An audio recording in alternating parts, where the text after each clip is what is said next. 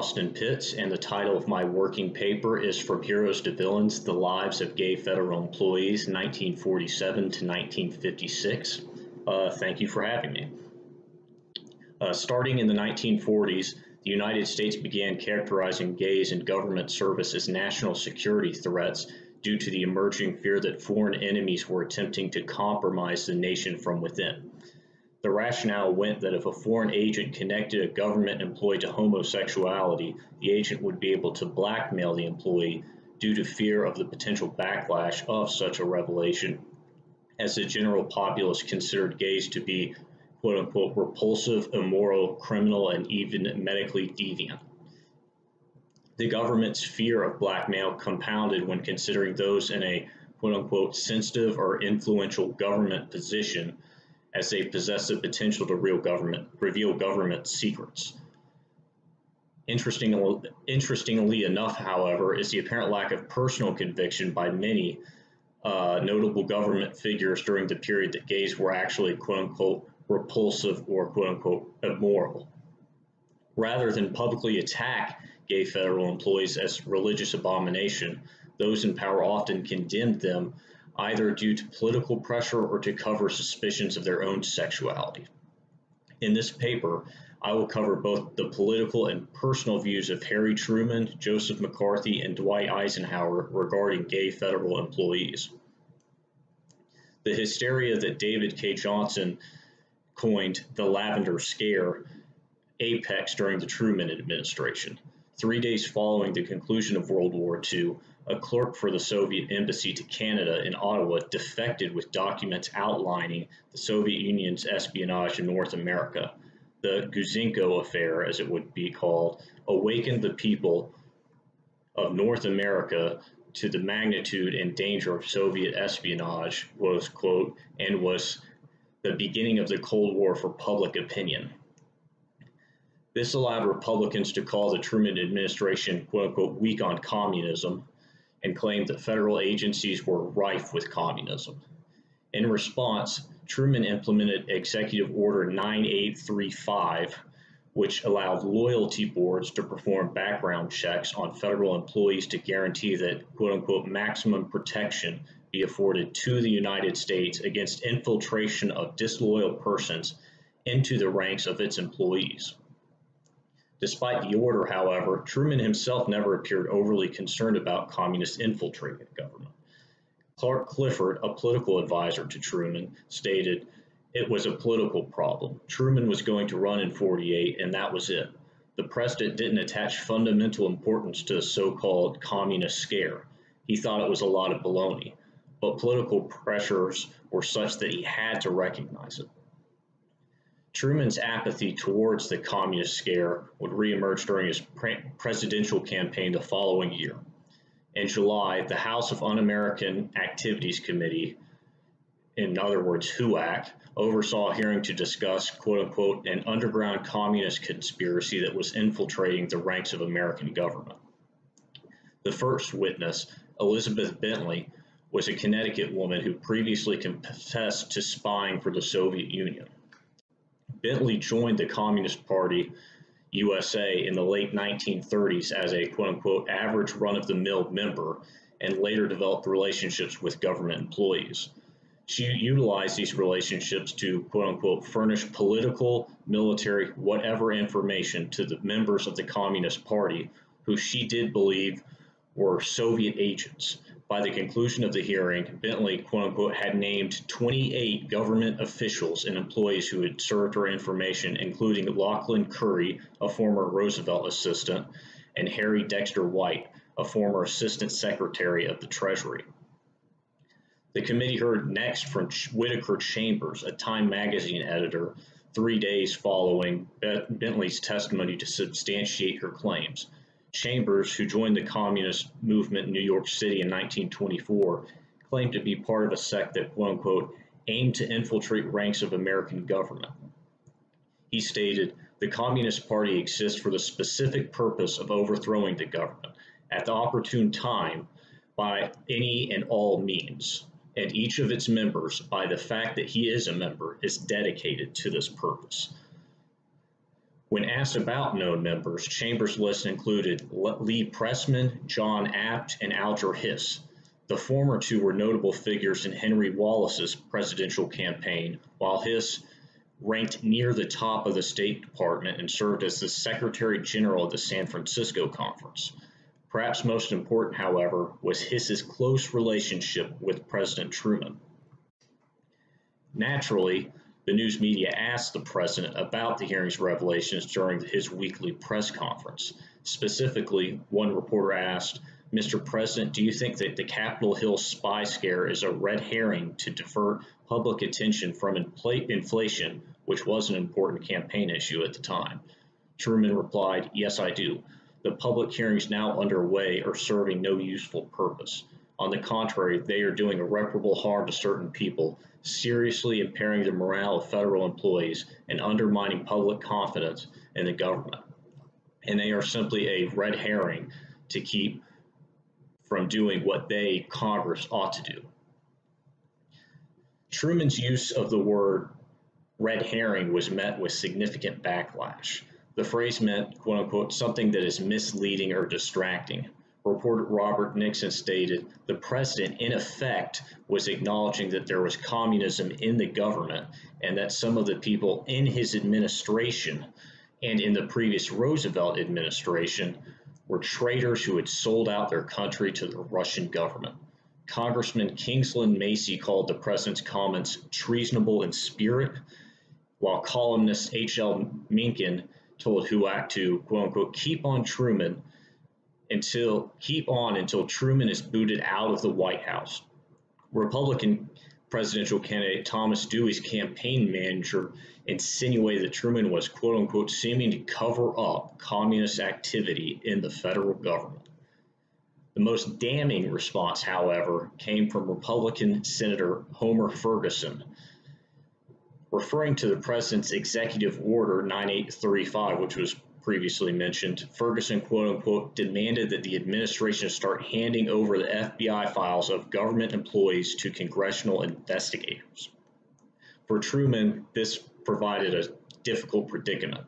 If he acquiesced, the privacy of at least, in his opinion, innocent federal employees would be violated. If he refused, Republicans would attack him for being weak on communism, or worse, for actively concealing communism in the federal government.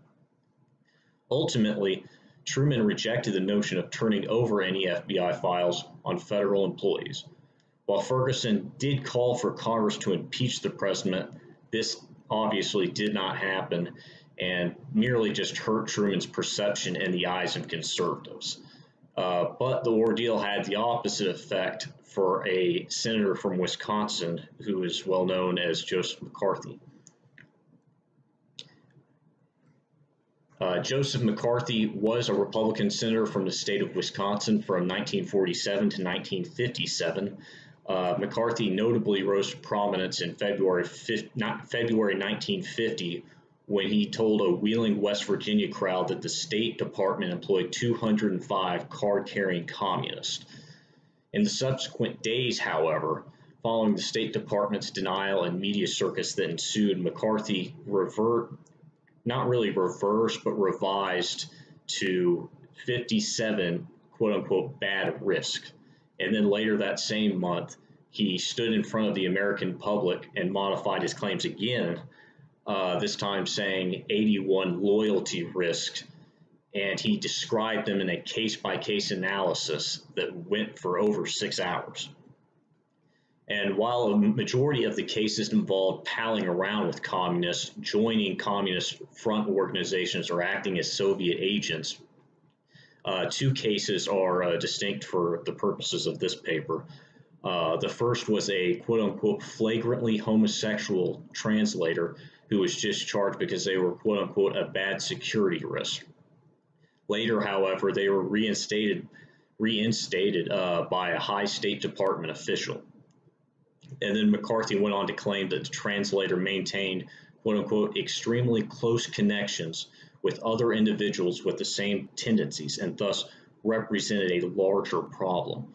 According to McCarthy, these quote unquote very unusual individuals were active members of Communist Front organizations and sometimes active Soviet agents themselves. Then, in the second case, McCarthy used the second instance, uh, in this case, an entire group of gay federal employees, to further emphasize his overarching point that for him, it provided an interesting picture of some rather unusual mental twists of these gentlemen who were tied up with some of the communist organizations. Furthermore, in both cases, McCarthy took the time to describe an interaction he had with quote unquote one of our top intelligence men in Washington. When McCarthy asked them what made communism so appealing to certain individuals, the intelligence officer responded, if you have been in this work long, as long as we have been, you would realize that there is something wrong with each one of these individuals. You will find that practically every active communist is twisted mentally or physically in some way. And then historian David K. Johnson states historians of the McCarthy era often quote this twice told tale to demonstrate how membership, membership in the Communist Party was considered evidence of a psychological maladjustment in the 1950s, but the context of the story suggests that the claim was much more specific. Homosexuality, McCarthy asserted, was a psychological maladjustment that led people towards communism. And, but some have even kind of delved deeper and have speculated that McCarthy's uh, maxim of homosexuals can't be trusted may have at least partially been self serving in nature. Uh, himself an unmarried man in his 40s, McCarthy, quote unquote, knew there were doubts about his own sexual prowess and preference. For example, journalist Drew Pearson knew of allegations that McCarthy sodomized one man and kissed another on the lips. And while Pierce never published these allegations, he did apparently tell a Las Vegas Sun publisher and editor uh, known as Hank Greenspun um, and then later, Greenspun himself wrote uh, that, quote unquote, it is common talk among, hom- among homosexuals in Milwaukee who rendezvous at the White House White Horse Inn that Senator Joe McCarthy has often engaged in homosexual, homosexual activities. Uh, perhaps even more serious for uh, McCarthy, however, was the FBI's investigation of his interactions with a particular Army lieutenant. Um, and this lieutenant claimed that, quote unquote, when I was in Washington some time ago, McCarthy picked me up at, a, at the bar in the Wardman Hotel and took me home. And while I was half drunk, he committed sodomy on him, on me. Uh, ultimately, the uh, FBI did determine that this accusation was fake and fabricated because, quote unquote, the homosexuals are very bitter against Senator McCarthy for his attack upon those who are supposed to be in the government. Uh, while the lieutenant's accusation may have proven false, in my opinion, it's certainly plausible that the continuous rumors uh, regarding his own sexuality, in addition to his political ambitions, uh, those two factors may have fueled McCarthy's fervor uh, to remove gay federal employees from their employment. Um, and furthermore, they also had a strong impact on the 1952 presidential election, uh, which Eisenhower ended up being elected. Um, which in this time in 1950, when he when McCarthy really rose to national prominence, um, Republicans had been out of power since uh, FDR had defeated uh, the incumbent Herbert Hoover uh, 18 years earlier. And since then, Roosevelt had served four terms, and then obviously Truman uh, uh, his successor uh, shocked, in their opinion, the Republican establishment by defeating Thomas Dewey in 1948. Uh, Republicans were so confident of their victory in 48, uh, in fact, that Dewey, quote unquote, barely campaigned and ignored the burgeoning issue of communism in government. Uh, thus, in their opinion, they would not repeat the same mistake they made in 48 in the 52 election and thus utilized increasing public fear of communists infiltrating the federal government to propel Dwight uh, Eisenhower to office. Um, but while outspoken fearmongers such as McCarthy helped get Eisenhower elected, this once uh, this kind of symbiotic relationship kind of began to falter and become contentious uh, soon after Eisenhower took office, as McCarthy uh, took aim at two of Eisenhower's key appointees uh, in his cabinet. Uh, and for all the FBI did to go kind of to the process of how appointees are approved, uh, the FBI conducts background checks on every one of Eisenhower's uh, White House appointees. Um, and this proved particularly problematic for Arthur, Arthur Vandenberg Jr., um, who was the son of a Republican U.S. Senator and campaign assistant who uh, for Eisenhower, who Eisenhower designated as his personal secretary in the White House. And during, during the FBI's investigation in early December, the FBI actually learned of an associate of Vandenberg's who was arrested on a quote unquote moral charge in uh, Lafayette Square, which is actually a place located across the street from the White House and at that time was known for quote unquote homosexual activity. And uh, this associate had bounced out of the Navy. Um, it, I'm not entirely certain uh, why. I don't know if that information is uh, known, really, just that this unnamed person was kicked out of the Navy. Um, and then this memo was sent from the assistant director of the FBI to the associate director of the FBI. Um, and it stated that the arrest ident- individual uh, was was called was George Irwin or Irvin.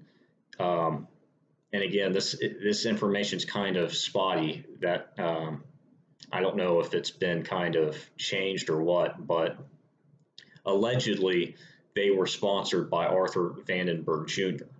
And subsequently, um, after this is starting to emerge, Vandenberg himself actually retreats from the public eye to quote unquote vacation in Florida. Um, and then later that month, uh, J. Edgar Hoover, the FBI director, um, privately met with Eisenhower uh, to discuss uh, his potential staff appointees and whatnot. And then obviously the discussion ended up turning to Vandenberg. And then later, uh, Hoover wrote on their conversation, uh, quote unquote, I told the general that Vandenberg had asked that we not interview the young man at present living with Vandenberg until he, Vandenberg, came out of the hospital to which he had gone for a physical check over the last weekend. Uh, the general told me that should Mr. Vandenberg decide that he did not desire to continue in the position to which he had been appointed as secretary to the president, that I could inform Vandenberg that no report would be submitted as it would be a moot question. Now, initially, Vandenberg kind of appeared to decline the implicit offer made by Eisenhower. Um, and this is kind of seen as on in a letter that uh, on January 8th that Hoover wrote to Sherman Adams, um, Eisenhower's chief of staff, that their investigation of Vandenberg was complete and quote unquote there's attached a summary of these inquiries. Um, but this quickly uh, changed because five days later, Vandenberg formally notified uh, Eisenhower of his intention to withdraw from consideration. Uh, he wrote, In my eagerness to fill the post which you offered me, I have made every effort to overcome an adverse health condition. Uh, but I cannot longer delay in yielding to the fact that I will not be able to assume the duties of Secretary to the President on January 20th. Therefore, I have no alternative except to request that you grant me an extended leave of absence from your staff. Um, and then Eisenhower wrote uh, after reading the letter, I am distressed to learn of Arthur Vandenberg's illness. I sincerely hope he will have an early return to robust health. In this office, he will be greatly missed. Uh, but according to journalist Peter Shinkle, this comment kind of bolstered the illness storyline that uh, Vandenberg was trying to portray as for his reason for not taking the position publicly and it, it, kind of suggested that I could just learned about it. So this doesn't appear to at least have been a health condition that was long lasting. Um, and then uh, a few days later, while he was preparing for his inauguration, uh, Eisenhower actually wrote to uh, Vandenberg personally. And he wrote that when Mamie and I, his wife, go off to Washington this weekend, one of our greatest, one of our great regrets will be that you are unable to be with us. I realize that you have been in this thing from the very beginning and that you have given tremendously of your energies during that period. On that account, I feel in some respects guilty. All of us are looking forward to early return to vitality and health. Uh, Shinkle explains, though, uh, that this letter, which would remain secret for decades, suggests that while Ike sought to oust Vandenberg, once his connection with an alleged homosexual threatened it to become a political catastrophe, Eisenhower nonetheless reached out personally to express sorrow over the situation.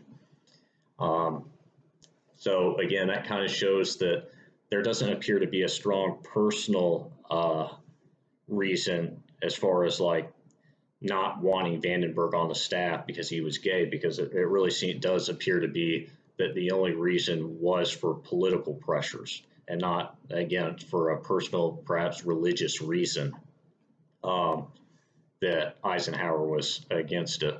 Um, and then another victim was uh, Charles Bohlen also, and he was nominated uh, by Eisenhower for U.S. ambassador to the Soviet Union.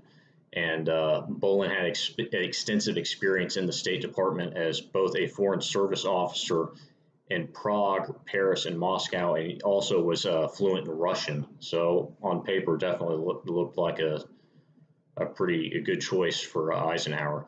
And then he was also, and this is important, he was also a translator and advisor to Roosevelt during the 1945 Yalta Conference. But despite all these accolades, uh, for someone like McCarthy, Bohlen was quote unquote the epitome of the professional pinstriped Ivy League diplomat who exuded a kind of worldly cosmopolitanism, uh, cosmopolitanism that uh, drove McCarthy mad. um, and then also uh, a lot of conservatives uh, blamed those present at the Yalta conference um, pretty much blame for quote unquote surrendering Eastern Europe and Manchuria to Stalin at the meetings. And so that gave a lot of uh, cause for concern for uh, some conservatives. Um, and so Bohlen kind of attempts to rationalize the decisions made at the Yalta conference when he is um,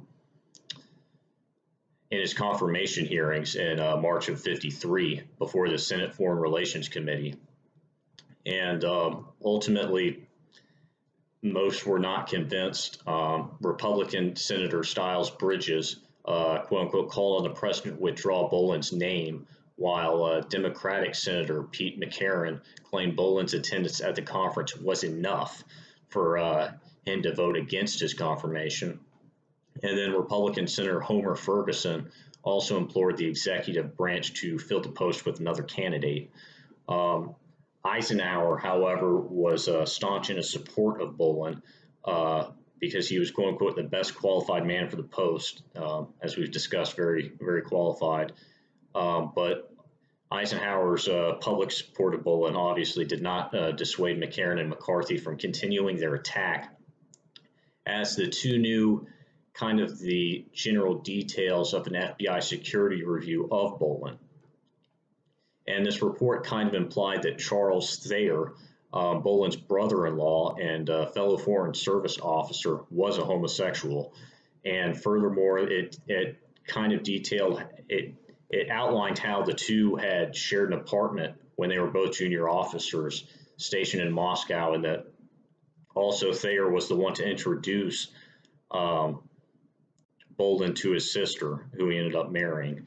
Um, and this, it, it, kind of implied or implied that questions like whether Bohlen knew of Thayer's sexuality, um, and if he did, did he cover it up, or were they in a relationship together?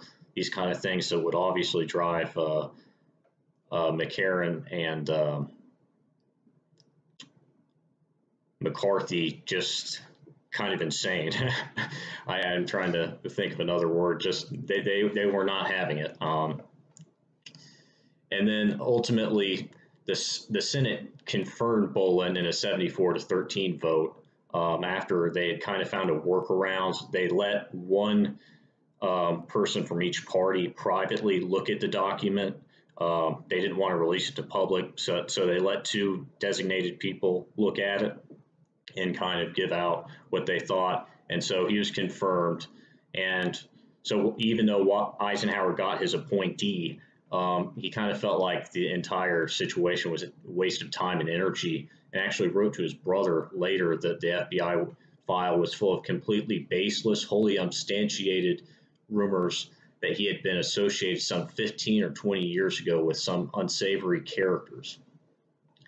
Um, and then also Eisenhower wrote in his own personal uh, journal that McCarthy, uh, quote unquote, inflamed the situation in order to secure some mention of his name in the public press, which was definitely not an uncommon uh, thought from uh, McCarthy's opposition. But even though this relationship was contentious, Eisenhower never really challenged McCarthy uh, directly. Um, rather, he kind of tried to outflank McCarthy by instituting particular policies such as uh, Executive Order 10450. Uh, and uh, pretty much uh, Executive Order 10450 uh, required all federal agencies to investigate new and existing employees to quote unquote develop information as to whether the employment or retention employment in the federal service of the person being investigated is clearly consistent with the interest of national security. And uh, this information included, quote unquote, any criminal, infamous, dishonest, immoral, or notoriously disgraceful conduct, habitual use of intoxicants to excess, drug addiction, or sexual perversion. Uh, additionally, just in comparison to Truman's executive order, um, this included all federal employees, and it also eliminated the requirement that the individual be found disloyal, uh, quote unquote, to be terminated as security risk. Um, but while this order seemed to be more aggressive and um, it, it, was mostly just a placater um, for a lot of people, especially the people that it was targeting, which in this case we're talking about gay federal employees. Um, because, for example, uh, Steve Benedict, who was an Eisenhower campaign member and also a federal employee at the time, uh, he, he wrote, I knew well that McCarthy and others had been on the warpath for homosexuals in government well before Ike was in office. Uh, I think I regarded 10450 simply as part of a continuum, not as something that made any basic changes in what was already going on. I never had a reason to believe that Ike would use his capital to make a fight in this particular area. Uh, and, and, again, this it, Benedict's prediction ultimately did prove true. Um, I, I, talk about it in my paper some. I'll kind of just skim it for time's sake. Uh, but pretty much in 1956, we have a case of Cole v. Young, um, and a person, Kendrick Cole, who works at the FDA, Food and Drug Administration, was terminated because, quote unquote, uh, his employment was not clearly consistent with the interests of national security. Um, and, and ultimately, the Supreme Court ruled that uh, they, they essentially restricted the application of 10450.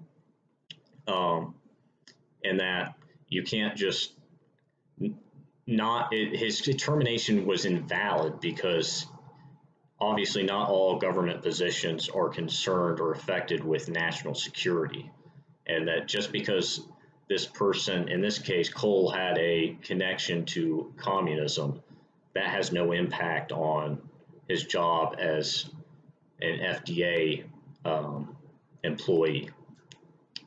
And so, yeah, in essence, my paper kind of, I'll try to narrow this down to 30 seconds. My paper discussed kind of how oftentimes we, we conflate religious beliefs of broader society in the United States at this time, their religious objections to homosexuality with the reason for these uh, programs. And really, it, it doesn't appear to, especially in the case of Truman and Eisenhower, that they personally had a problem with having gay federal employees. It really was just done for political purposes, and with McCarthy, perhaps um, to dissuade people from thinking certain things about him. Thank you.